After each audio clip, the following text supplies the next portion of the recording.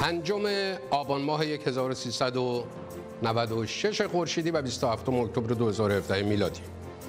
امشب صفحه آخر اختصاص دارد به سپاه پاسداران انقلاب اسلامی. در سه حوزه به سپاه می‌پردازیم. امشب یکی سپاه به عنوان یک نیروی سرکوبگر دو سپاه به عنوان یک نیروی فعال اقتصاد قاچاق و سه نیروی قدس سپاه شاخه برون مرزیش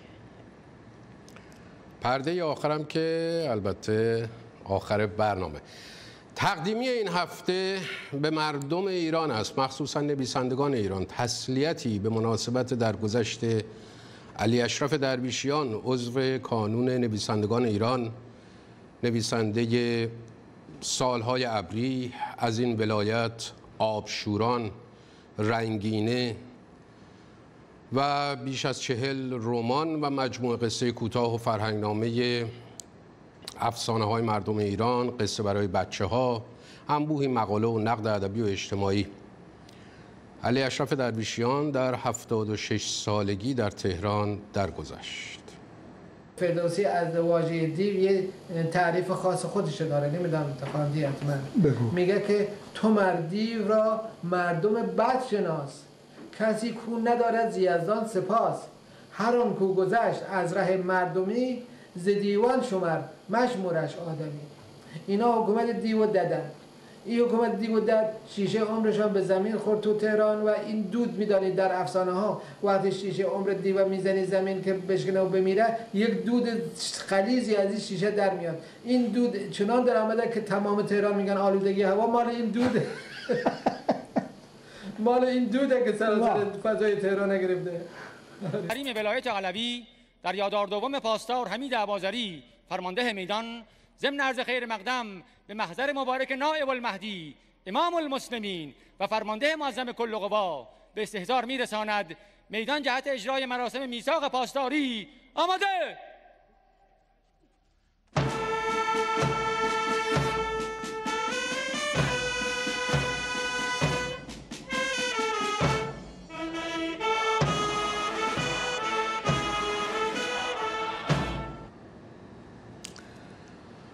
سپاه پاسداران بیش از 38 ساله که تشکیل شده 38 ساله تشکیل شده و دست کم 25 ساله که فعالیت اقتصادی و کارفرمایی می‌کنه و درست 20 ساله که نیروی قدسش رو با فرماندهی قاسم سلیمانی تشکیل داده برای فعالیت های برون مرزی و 6 ساله که همین نیروی قدس سپاه مورد تحریم اتحادیه اروپا و پیش از اون مورد تحریم آمریکا بوده است و هست. حالا تحریم کل سپاه پاسداران در دستور کاره. 21 مهر 1396 قانون مادر تحریم های ایران در مجلس نمایندگان آمریکا با اکثریت قاطع آرای دموکرات ها و جمهوری خواهان به تصویب رسید. این قانون بعد از تصویب سنا در مجلس نمایندگان با 419 رأی موافق یعنی بیش از دو سوم آرا به تصویب رسید و فقط سه نفر با این تحریم ها مخالفت کردند. پل رایان رئیس مجلس نمایندگان آمریکا از قانون جدید تحریم ها علیه ایران به عنوان گسترده ترین بسته های تحریمی در طول تاریخ یاد کرد. یک تحریم بسیار گسترده و جدیدیه و شامل سه بند اصلی میشه. اولیش بحث برنامه موشکی ایران حالا می‌تونیم وارد جزئیاتش بشیم. که حالا این بحث از گذشته هم بوده. یعنی بعد از امضای برجام تو سال 2015 تو دو سال اخیر این یکی از چالش های روابط ایران آمریکا بوده. موضوع دوم که خیلی مهمه اینه که سپاه رو و کل سپاه اینجا منظوره نه فقط نیرو قدس کل سپاه رو به دولت آمریکا امر می‌کنه که قرار بده تو لیست تروریسم. و این خیلی تبعات جدی می‌تونه داشته باشه. و سومین بندش بحث حقوق بشره حالا اگه فرصت از بند دومش که میگه کل سپاه رو قرار گرفته بشه تو لیست تروریسم خیلی عواقب سوئی می‌تونه داشته باشه. چرا؟ به خاطر اینکه متن تحریمو که آدم مطالعه می‌کنه فقط سپاه رو نمی‌خواد تحریم کنه. بلکه میگه هر فرد و هر ارگانی که به سپاه هم کمک بکنه شامل تحریم میشه. مثلا چی؟ فرض بگیرید که این لایحه تبدیل به قانون بشه و بعد می‌تونن بیان این ادعا رو بکنن که فلان بانک ایرانی مثلا بانک صادرات وام داده به قرارگاه خاتم الانبیا. از همین طریق می‌تونن بانک صادرات رو تحریم کنن یا اینکه حالا شرکت هایی بله. که در امر سازندگی با سپاه پاسداران همکاری می‌کنن همه اینا ممکنه که شامل این تحریم بشن؟ بله و حتی شرکت های اروپایی یعنی اگه بانک صادرات تحریم شه میگم مثل دومینو این می‌تونه پشت سر هم اجزای مختلف اقتصاد ایران رو مورد هدف قرار بده. برای همین یک چیز کاملا جدید و خیلی هم جدیه. طرح اون چیزی که اشاره کرد کارشناس سیمای جمهوری اسلامی شنیدین الان. طرح تحریم برنامه های موشکی جمهوری اسلامی ایران. این هم چهارشنبه پیش تو مجلس نمایندگان آمریکا تصویب شد. یه روز قبلش هم دو لایحه در پیوند با تحریم حزب الله لبنان برای جلوگیری از کمک مالی جمهوری اسلامی به حزب الله در همین مجلس نمایندگان تصویب شد. خب این مصوبه ها چه پیامدهای عملی داره؟ تحریم سپاه یعنی چی؟ اگر آمریکا سپاه پاسداران رو تروریست بداند آیا این عملا به معنی اعلان جنگه اینا از جمله پرسش است که امشب می‌خوایم بهش بپردازیم. اگه یادتون باشه تو برنامه‌ای که چند هفته پیش درباره قاچاق مواد مخدر داشتیم گزارشی دادیم از سردار سید حسن هاشمی نسب که با 185 کیلوگرم هروئین و بیش از دو برابر این مقدار مورفین دستگیرش می‌کنند بعد به کمک دوست قدیمیش سردار قاسم سلیمانی و چند تا سپاهی دیگه آزاد میشه و بعد از 6 ماه. و الان تو صفایی یزد توی خونه اشرافی زندگی می‌کنه. آمریکا و اروپا از چند سال پیش سپاه رو به عنوان بزرگترین کارتل قاچاق مواد مخدر شناختن. من فقط اشاره هایی بکنم. در 21 ژانویه 2011 یعنی یکم بهمن 89 روزنامه دیولت آلمان در گزارشی نوشت دستگاه های حکومتی در ایران از مسیر قاچاق مواد مخدر به کسب درآمد پرداخته و رژیم ایران بزرگترین قاچاقچی مواد مخدر در جهان است. بنا به تلگرام های محرمانه آمریکا که روزنامه دیولت به آنها دست یافته حکومت ایران دست کم سپاه پاسداران چندین سال است که یکی از بزرگترین قاچاقچیان مواد مخدر در جهان است. این اسناد از سفارت آمریکا در آذربایجان جمهوری آذربایجان به دست آمده.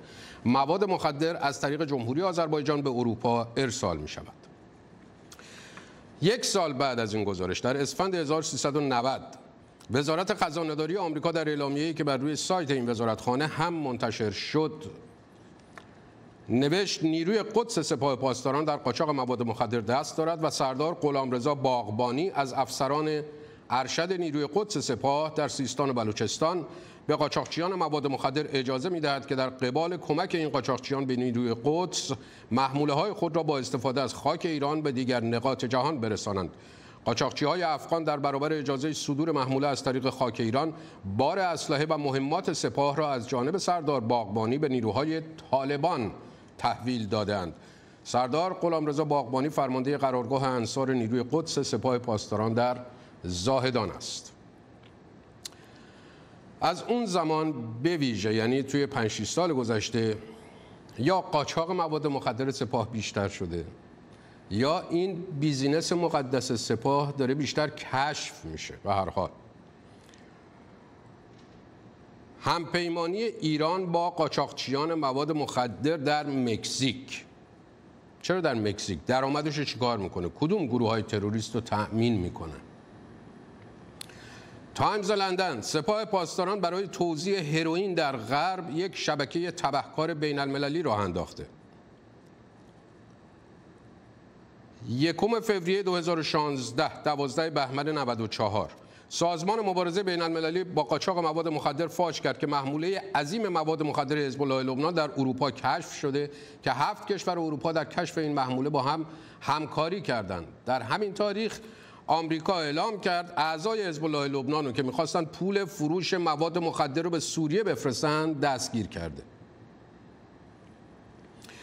این فقط در مورد مواد مخدر و چند مورد از کشف شده ها و اعلام شده ها. وگرنه می‌دونید که حجم سنگینی از اقتصاد قاچاق ایران دست سپاهه. یکی دو تا مثال براتون بزنم. سپاه میاد شرکت تاید واتر خاورمیانه رو می‌خره. 300 میلیون دلار. تاید واتر شرکت خدمات دریایی خاورمیانه است. 60 درصد واردات و صادرات ایران از طریق این شرکت انجام میشه. خب سپاه هر چی بخواد از این از راه دریا قاچاق کنه همین شرکت خدمات دریایی که مال خودشه کافیه. تا هر کاری می‌خواد انجام بده. هر چی می‌خواد وارد کنه هر چی می‌خواد صادر کنه. اینجوری داستان. بعد باز در بعد اقتصادی خدمتتون ارز کنم که با وجود همه این داستان ها سپاه طلبکار دولت و ملت.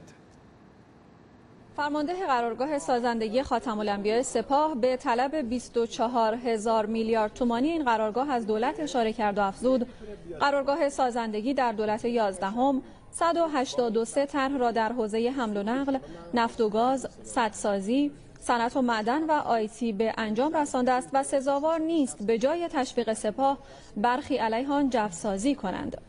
فرمانده, فرمانده قرارگاه سازندگی خاتم الانبیاء سپاه با بیان اینکه قرارگاه طرحهای نیمه کاره ای را به ثمر رسانده است که خارجی ها در ابتدای تحریم ها آنها را رها کردند شایبه رقابت سپاه با بخش خصوصی را رد کرد و با ذکر مصادیقی گفت طرحهایی که با ترک تشریفات مناقصه به قرارگاه واگذار شده ضررده بودند. بذارید من چند تا مثال بزنم. ببینید سرداراشون چقدر راستگوان الحمدلله.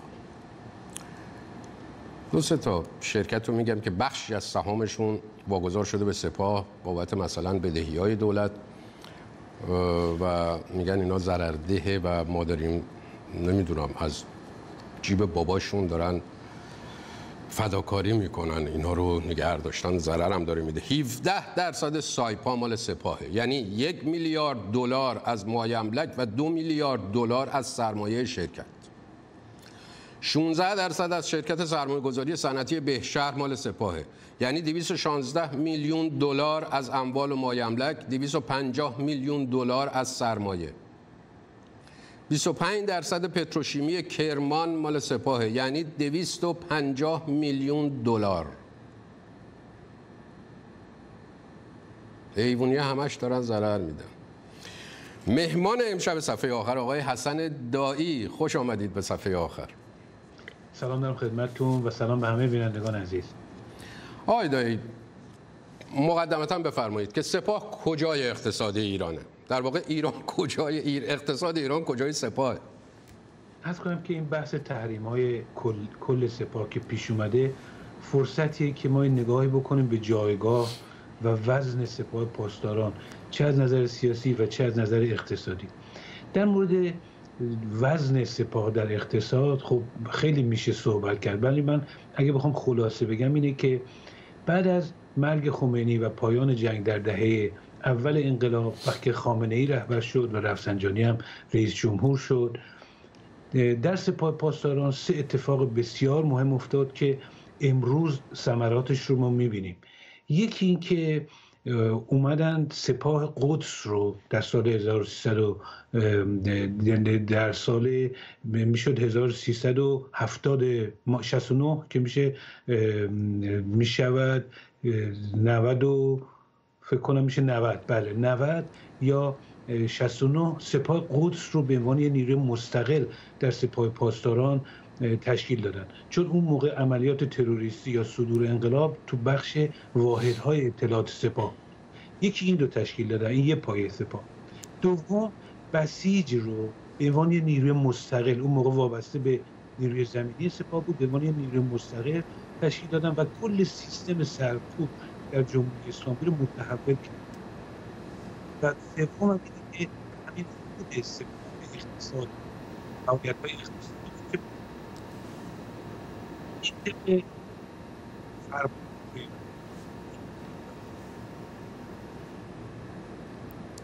خب چی شد؟ صدای از کنتیکت تا اینجا راهی نیست که چرا صدای آقای دایی قطع شد؟ این مشکل فنیات همیشه باعث میشه که ما بخشی از وقت رو از دست بدیم و رشته سخن رو. آقای دایی صدای بنده رو میشنوین؟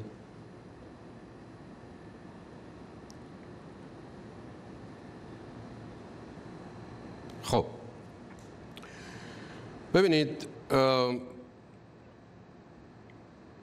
قاسم سلیمانی رو من اشاره بکنم.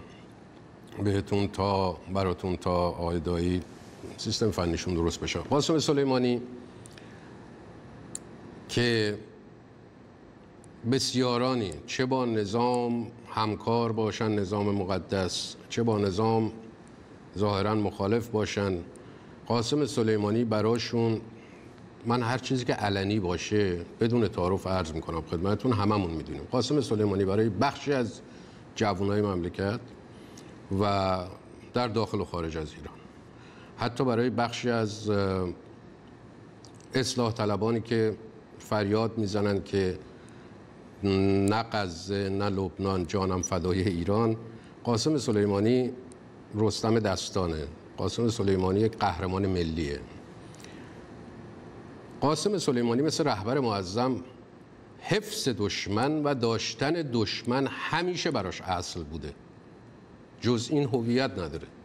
منظور قاسم سلیمانی از دشمن دشمن اسلامی است که اینا دارن به اسمش حکومت می‌کنن نه دشمن ایران. مشخصا بشنویم. این نظام هم دیروز ارزش این را داشت که هشت هزار نفر برای اون شهید شوند. هم امروز ارزش این را دارد که هزاران نفر دیگری در راه اون شهید بشوند. نظام اسلامی است. این که رهبر عزیز و بزرگوار در بالای این قله نظام این گونه مراقبت می کند از نظام و هر چیزی که بر این نظام خدشه وارد کند سایشی به وجود بیاورد از اسلامیت او بکاهد از ملیت او بکاهد از استقلال او بکاهد از عزت او بکاهد در مقابلش می ایستد چه ارزشی دارد پاسپورت ما را کسی قبول دارد یا ندارد؟ مهم این مطلب. بله. یعنی این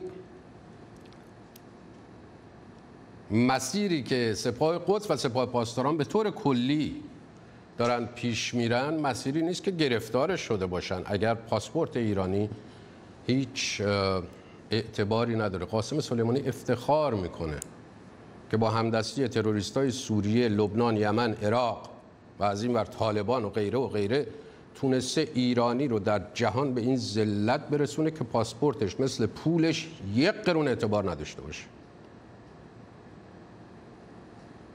این دستاورد سپاه نیروی قدس جزو سپاه برای مردم ایران. این یکی از دستاورداش. آقای دایی صدا بنده رو میشنوین؟ آقای دایی صدا بنده میاد؟ صدا میاد بله. بسیار خوب. خب ببینین داشتین درباره نقش سپاه در بعدا برمیگردیم به سپاه قدس به نیروی قدس. اجازه بدیم باز ادامه صحبت شما رو بشنویم درباره سپاه و اقتصاد ایران. خواهش می‌کنم.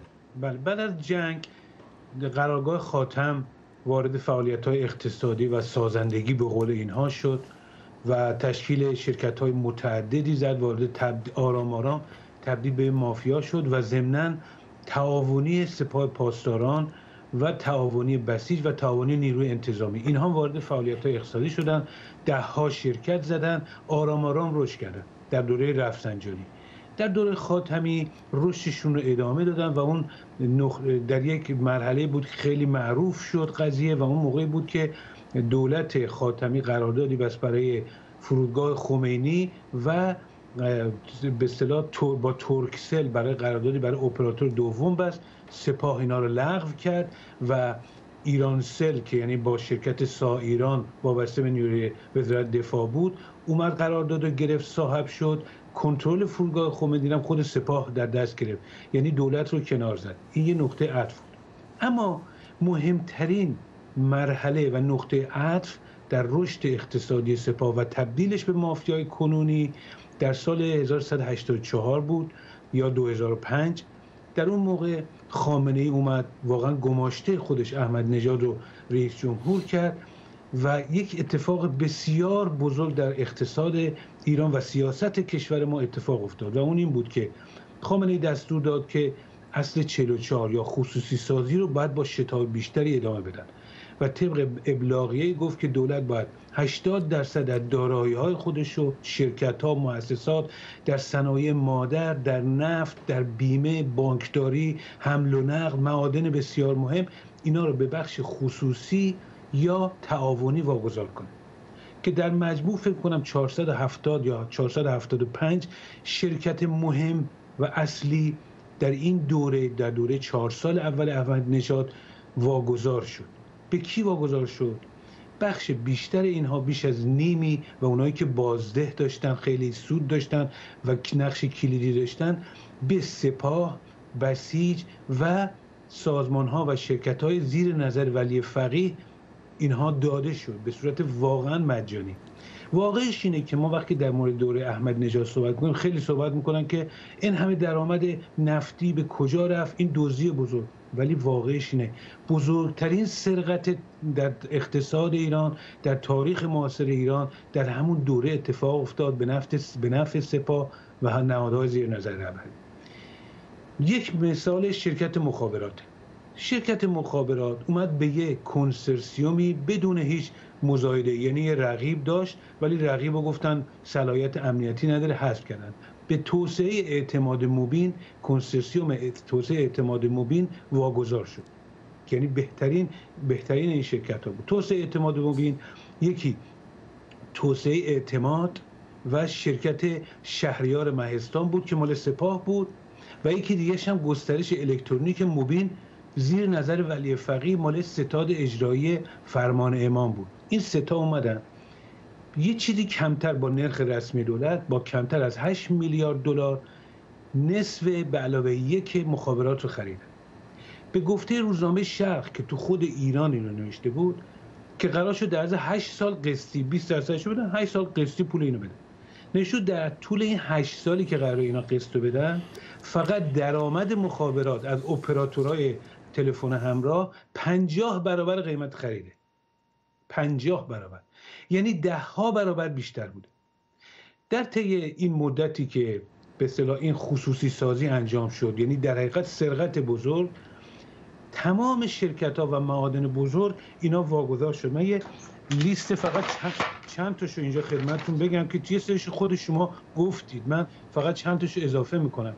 شرکت سرمایه گذاری غدیر یکی از بزرگترین شرکت های سرمایه گذاری که ده ها شرکت پالایشگاه اصفهان صنایع پتروشیمی پتروشیمی پارس صنایع آلومینیوم شرکت آلومینیوم معادن فلز، فلزات در انگوران صنایع دریایی سر شرکت صنعتی دریایی راد همین شرکت تاید واتر که شما اشاره کردید. شرکت سرمایه‌گذاری صنعتی داروسازی جابر بن حیان بعد در جاهای دیگه که سرمایه گذاری دارن سهم دارن گوگل بهمن اوریستی سایپا کشوری کردید سرمایه گذاری بهشر پیشکاری پتروشیمی صنایع شاداب همینجور بری جلو. این بخش اول سرقت بود. یعنی بخش اولش بود. بخش دوم که به نظر من دست کمی از این بخش اول نداره ورود سپاه و بسیج و نهادهای زیر نظر رهبر اینا به بازار مالی سیستم بانکی کشور. اینا آمدن با این درآمد و ها وارد سیستم بانکی شد سه تا بانک اصلی اینا داره بانک انصار آقای دایی ببینین قبل از اینکه وارد سیستم بانکی بشین من یه نکته رو خدمتتون عرض می‌کنم درباره همین پروژه ها که به عنوان یعنی حالا شما سرمایه گذاری ها رو گفتین شرکت ها رو گفتین که واگذار شده است و نامش مثلا قدیر القدیر انبوهی کارخونه و شرکت های بزرگ است. این مثلا تراکتور سازی تبریز واگذار میشه به سپاه. جاهایی که آدم حالا شما پتروشیمی رو برای مثال گفتین. جاهایی که در واقع مراکز اصلی صنعت اگه بتونیم بگیم حالا صنعت صنعت مونتاژ هرچی اقتصاد صنعت صنعتی ایران حالا بخش های اصلیش اینا چه دریایی چه زمینی و بعد چه خاکی. و بعد از طرف دیگه به عنوان پروژه هایی که بهش میدن در هر جایی که شما اشاره کردین نکته بسیار مهم این است که هیچ جای مزایده و مناقصه برگزار نمیشه. و اگر برگزار بشه وسط کار پس می‌کشه و یا اصلا توان مقابله با سپاه چه به دلیل مالی چه به دلیل سیاسی امنیتی نداره نظامی نداره پس می‌کشه. و در نتیجه سپاه به این دلیل میشه بزرگترین کنترکتور یا بزرگترین کارفرما بزرگترین کسی که قراردادها رو حتی برای دولت اجرا می‌کنه به اسم بخش خصوصی. می‌دونین؟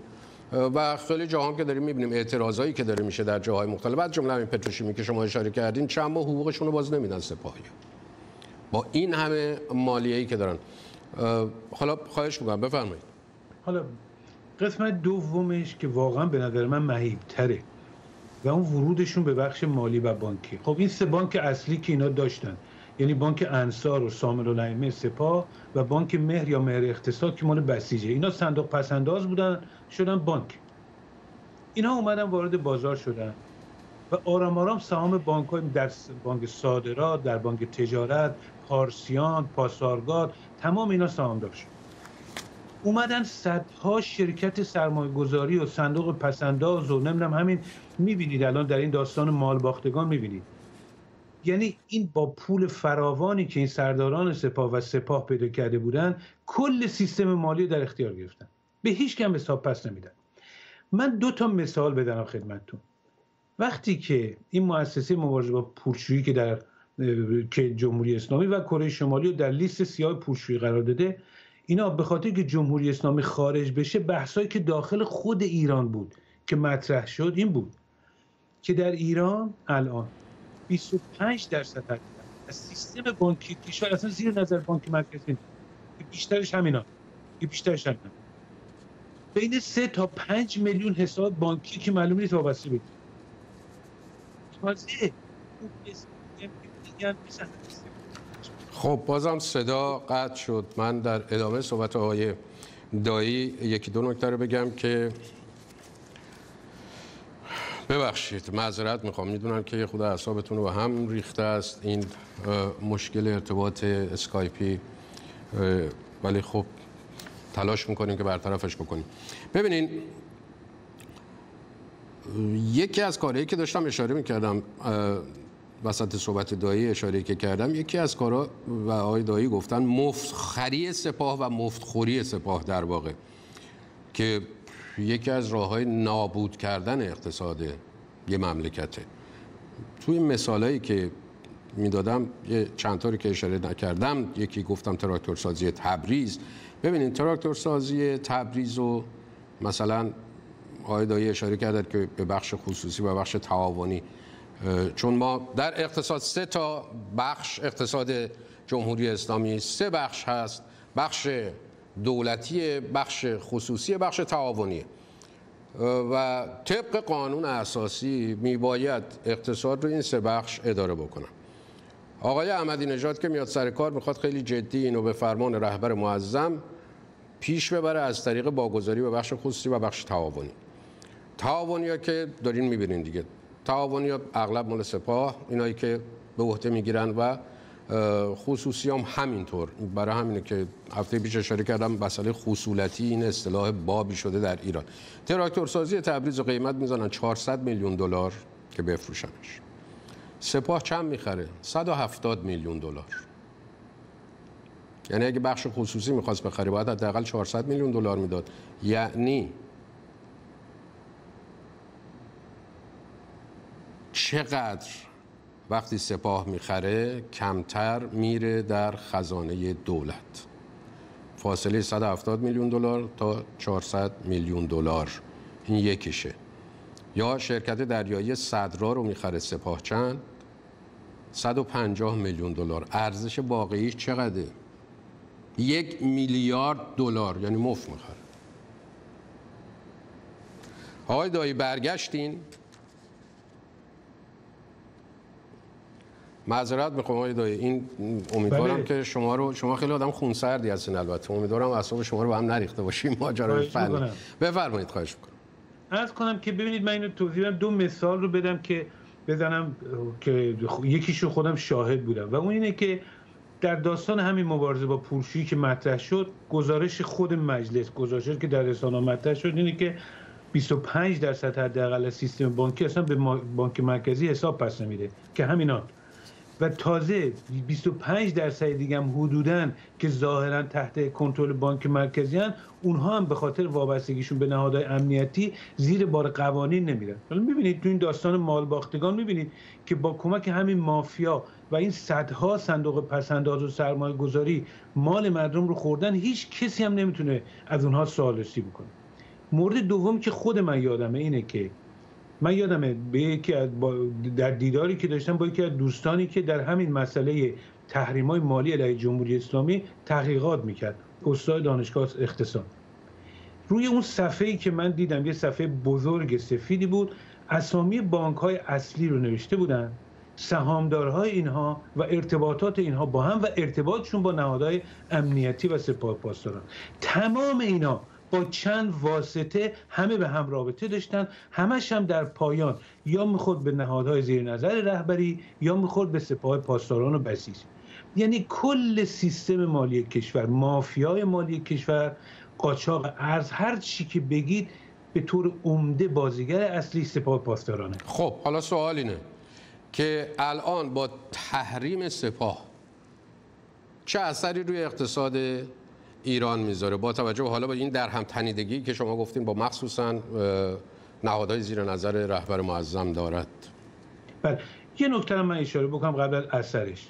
و اون اینه که خب این همه درآمد و این به اصطلاح نقشی که داره سپاه نتیجهش اول ببینیم چیه که اگر تحریم بکنن طبیعتا رو اون نتایج تاثیر می‌ذاره. ببینید اول از همه این ثروت بیکران و جایگاهی که دارن تعیین خط سیاسی برای کشور می‌کنه. یعنی اونا که فکر می‌کنن دولت کاره هست یا می‌تونه اصلاحات بکنه خب ببینن نقش سپاه که بخش عمده. یعنی الان به گفته خود روزنامه های ایران یک سوم تولید ناخالص ملی نزدیک به 20 میلیارد قاشاق در سال نزدیک به نیمی از واردات و صادرات در اختیار سپاه پاسداران خب این تعیین می‌کنه در سیاست.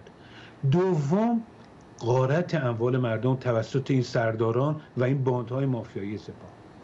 سومش اینه که این تعاونی بسیج و سپاه و اینها واقعش اینه اینا اومدن با حمایت مالی که از اعضای سپاه و بسیج می‌کنن یک طبقه خاص در کشور تشکیل دادن. به خانواده ها اینا و به اینا سعی می‌کنن رفاه بدن وفادار بمونن به نظام. یعنی یک طبقه سرکوبگر و غارتگر رو داره این سیستم مالی داره حمایت می‌کنه. این اثرش. حالا چه اثری می‌کنه؟ ببینید اولین تحریمی که کردن خب 2007 بود ولی سپاه قدس رو تحریم کردن بعد اومدن سپاه رو به خاطر فعالیت های موشکی و هسته ای تحریم کردن. سه بانک مل... بانک صادرات و نه ما سپاه قدس رو اجازه بدین اجازه بدین نیروی قدس رو جدا بریم روی اون قضیه. روی اقتصاد رو وضعیت داخلی مملکت. بله. تحریم چه اثر واقعا ببینید هر تحریمی به اجراش هم اهمیت داره.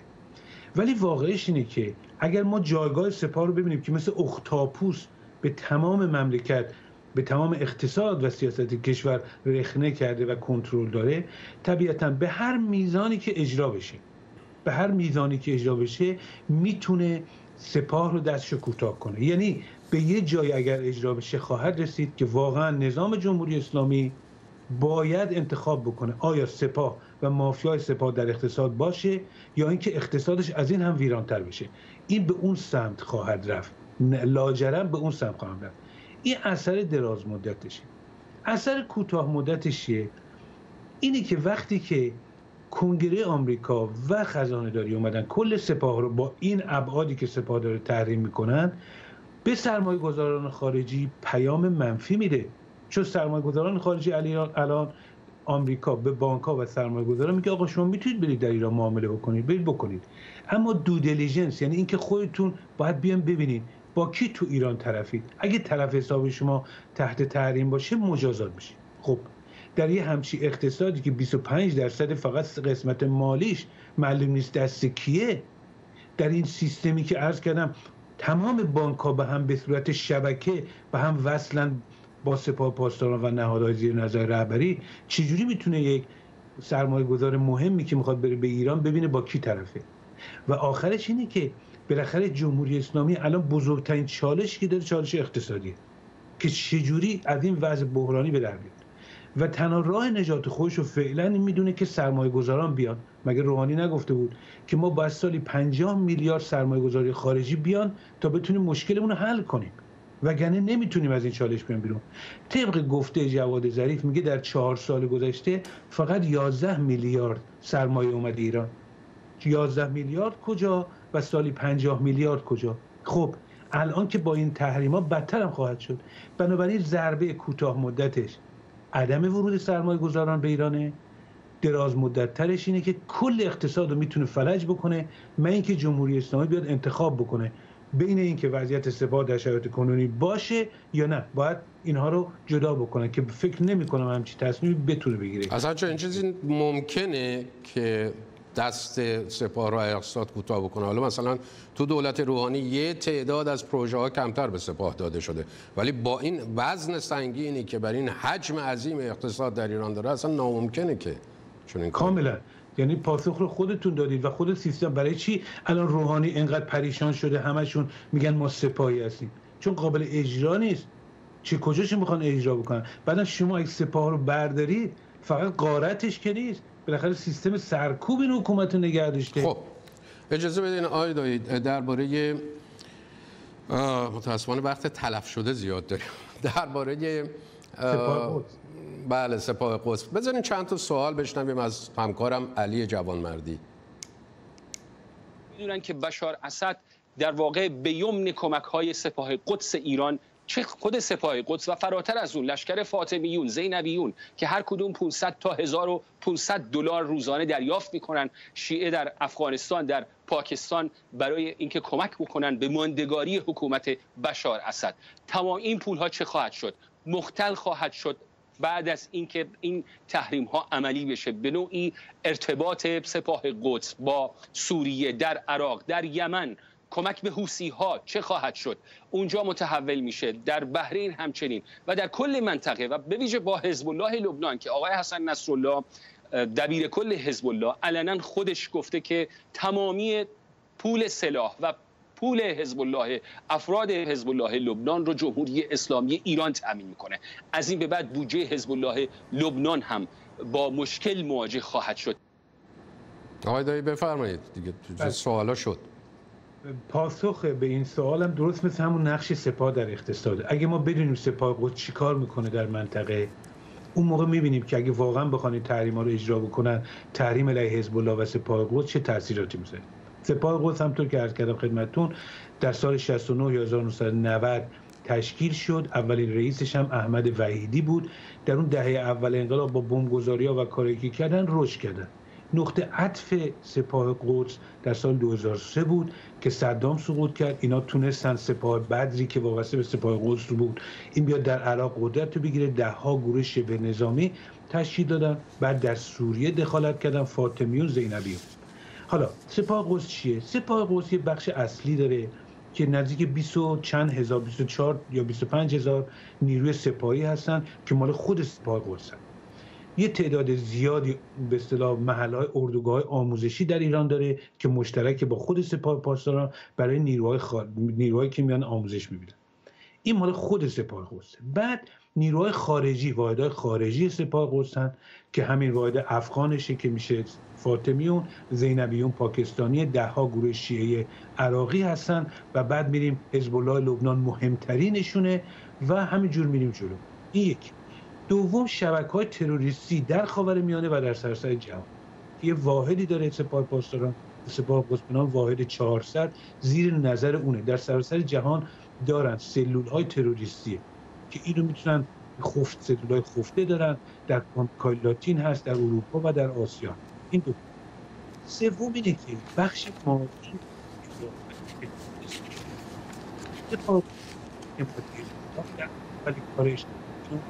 آقای دایی دوباره رفتین.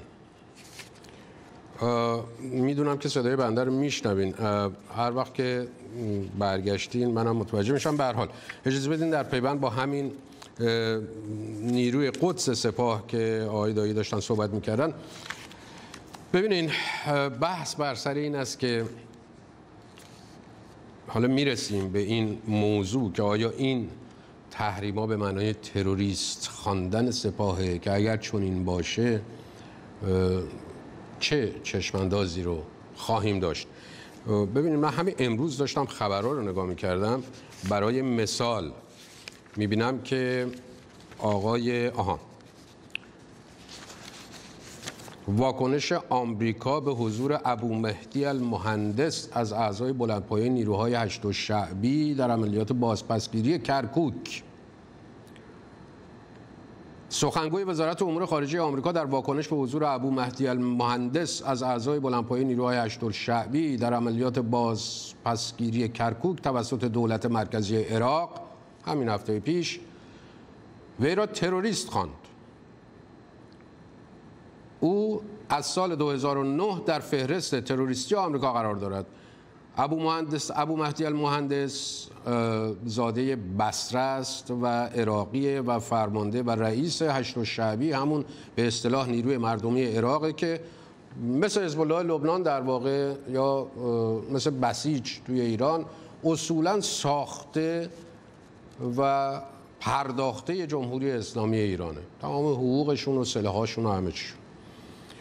و فرماندهشون هم از سال 2009 یعنی از هشت سال پیش جزو فهرست تروریستی آمریکا بوده است.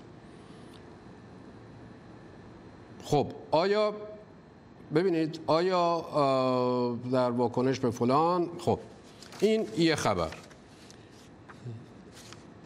افراد دیگری. همین امروز باز خبر بود که نخست وزیر عراق که آمده است به ایران با قاسم سلیمانی فرمانده نیروی قدس سپاه در تهران دیدار کرده مذاکره کرده.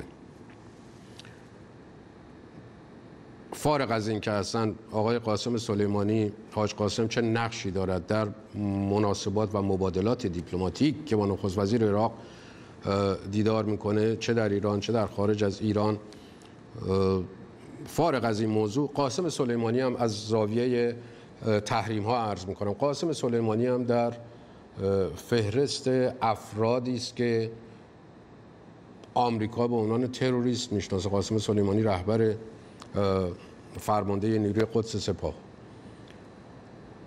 هم در عراق او رو تحمل می‌کنن و هم در سوریه. به حال یک یکی از ازلاع مثلث یا مربع مذاکرات هست. و هم در ایران عرض کردم که نخست وزیر عراق میره رسما باهاش دیدار می‌کنه. خب اینها ببینید بزرگترین سوال اینه. من دیگه در این فرصت باقی مانده بریم سراغ آقای دایی می‌خوام به همین موضوع بپردازیم. آقای دایی صدای بنده رو میشنوین؟ میاد صدای من؟ بله بله بله. خب ببینید ما وقت زیادی نداریم. عذر می‌خوام از این وضعیت خراب فنی. ببینید تحریم الان من داشتم مثال می‌زدم. مثلا مهدی المهندس رو می‌گفتم که مثلا در بازپسگیری کرکوک میگه نقش داشت آمریکا میگه نقش داشته و بعد میگه آقا تروریست این آدم. و چرا نقش داشته؟ خب یه همچین آدمایی هستن. ببینید بحث بر سر این است. آقا جان روشن. این تحریم ها چه اثری داره و چه نقشی داره؟ این آیا فقط تبلیغات و امضا کردن و رأی دادن مجلس نمایندگان یه مقدار شاخشونه کشتن برای جمهوری اسلامی یا حقیقتا؟ بله. گفتیم که قاچاقچی های مواد مخدر سپاه رو آمریکا دستگیر می‌کنه. راه های انتقال پول به حزب الله لبنان و بارها بسته. ولی به طور کلی چقدر می‌تونه جلوی این موضوع رو بگیره و بر, بر آنچه امضا می‌کنه متحد باشه و تحریم و تروریست خواندن افراد رو واقعا اجرا بکنه. ببینید این تحریم ها اولا برخلاف تحریم های سابق مصوبه کنگره است. یعنی بار و وزنش بسیار بیشتره. یک. دوم تحریم که تا کنون بوده اثر داشته. سپاه قدس و حزب الله لبنان با کلی مشکلات روبران اگه اینا نبود که خیلی راحت ترین کاراشونو می‌کردن که. کل سیستم بانکی جمهوری اسلامی الان تقریبا نیمه فلجه در مبادلات خارجی. تمام اینا به خاطر این کارهایی که شده تا کنه اما تحریم های جدی به خاطر اینکه در زمان آقای اوباما به طور کلی قرار بر این بود که اگر ما با جمهوری اسلامی سازش هستی بکنیم و دوست بشیم رفتار خارجی سیاست خارجیش عوض میشه. خب نشده. بنابراین در اجرای بسیاری از این تحریم ها جدی نبودن. همون مقدارش که بودن دیدید که اثر کرد. الان این تحریم های جدی در چارچوب استراتژی جدیدی که دولت آمریکا اعلام کرده به نظر من می‌تونه موثرتر باشه. ببینید فقط تحریم هیچ وقت راه حل نیست. اما این تحریم ها تحریم اتفاقا هوشمنده سپاه رو مد نظر قرار داده نه کل مردم ایران رو. این بسیار مهمه. به نظر من می‌تونه بسیار موثر باشه. به شرط اینکه آمریکا بیاد در چارچوب استراتژی که از مماشات دور بشه و بخواد با جمهوری اسلامی مقابله بکنه. طبیعتا دست آمریکا در عراق و سوریه به خاطر سیاست های چند سال گذشته بسته است. نمی‌تونه یک شبه بیاد با هشت و شعبی یا با جمهوری اسلامی در سوریه درگیر بشه و نمیخوادم درگیر بشه.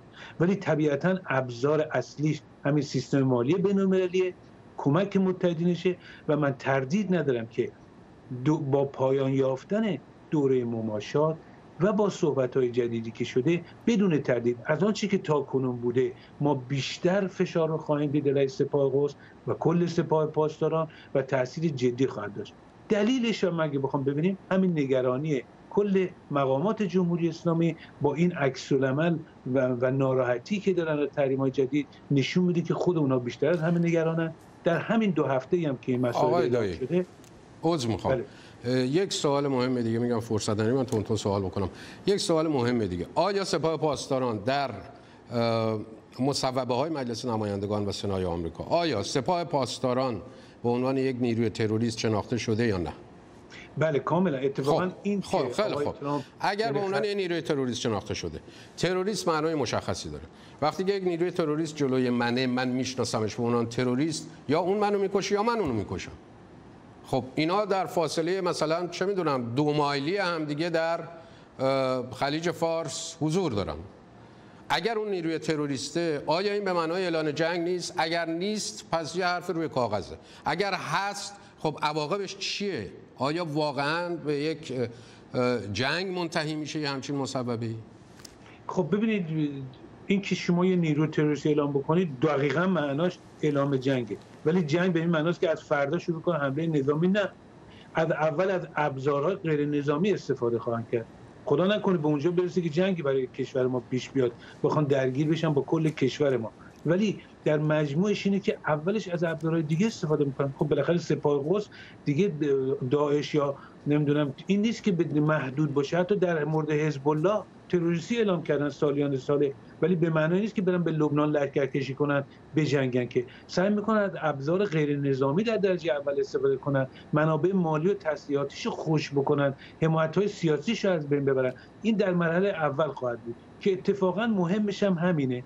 بنابراین بله اعلام جنگه ولی به معنای لشکرکشی نیست به معنای افزایش فشار و خوش کردن راه های حمایت مالی و سیاسی و همه جور از هم حزب الله لبنان هم سپاه قدس نیروهای وابسته به سپاه قدس خواهد بود. این بس... دو دقیقه وقت داریم. آیا تحریم سپاه می‌تونه دست سپاه رو در سرکوب داخلی ببنده؟ مثل سال 88 مثلا که خب فرمانده سپاه اومد علنا گفت که ماییم که سرکوب می‌کنیم و همه جاهای دیگه. ببینید یه نکته هست. من یه مثال کوچیک بزنم. در زمان هسته یادتونه که وقتی تحریم شد حرف ما این بود که بگیم آقا برنامه ای رو تعطیل بکنید. چرا باید تحریم بشه؟ یعنی بار رو بذاریم هزینه رو بذاریم رو خود جمهوری اسلامی که آقا این برنامه ضد ملی رو تعطیل کن الان اتفاقا به جای یعنی در کنار این تحلیل ها ما باید بگیم آقا نقشی که سپاه داره در منطقه کارهای تروریستی و اینها به ضد مردم ایرانه. تو با این کارا سعی می‌کنی با تحریم و اینا فشار به مردم بیاد. بار رو بذاریم روی سپاه. بار رو بذاریم هزینه رفتارهای سپاه رو باید ببریم بالا. که نیان از جانب مردم ایرانی کارا رو بکنن خودشون جیباشون رو پر بکنن مردم مال و همه چیشون رو از دست بدن به فقر و فلاکت بیفتن بعد اینا هر کاری دلشون خواست بکنن. ما باید این فشار رو ما بیاریم. این وظیفه ایرانی هاست که واقعیت رو بگیم نقش سپاه رو بگیم دوزیاش رو بگیم. یه مثال بزنم. امروز دیروز آقای ظریف رفته در اوگاندا بیمارستان مجانی که ساختن افتتاح کرده. برای چی کرده برای چی رفتن پول دادن؟ تو اوگاندا اونور دنیا. برای اینکه اونجا دو تا حوزه علمیه دارن یه جامعه المصطفی دارن برای اینکه بتونن 400 تا آخوند رو اونجا تربیت بکنن دارن این خرجا رو می‌کنن. خب ما باید بگیم آقا عجیب ما خرج نکن. ما نمی‌خوام هزینه بدیم. این تحریم تحریمایی که می‌خوان الهی سیستم بانکی بکنن اگه چوبشو مردم ایران بکنن تقصیر سپاهه. متوجه سپاه بکنیم خب این تحریما این تحریما روی بازی دقیقه وقت این تحریما روی بستن دست سپاه در سرکوب داخلی آیا اثر می‌ذاره یا نه؟ اگه می‌ذاری چجوری؟ خواهش من تیتر بار اگه ماها نقش داشته باشیم تلاش بکنیم متوجه سپاه بکنیم بله. ولی اگه کاری که روحانی اینا می‌کنن جا بیفته که ما همه سپاهی هستیم و بیان نوک حمله رو برن به طرف آمریکا به که به طرف سپاه ببرن سپاه می‌تونه با خیال رو هم هم قارت بکنه و هم سرکوب. ما نباید به نظر ما این دیگه مربوط به ما می‌تونه اگه این تحریما خوب اجرا بشه دست سپاه رو ببنده تا حدودی.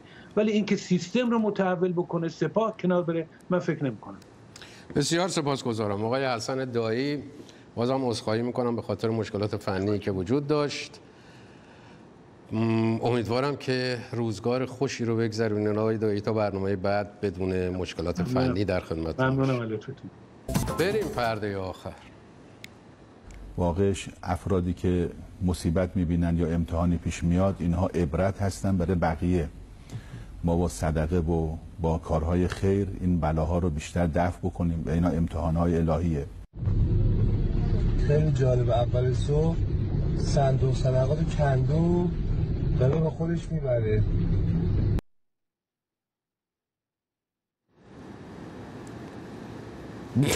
برد. شب و روزگار خوش.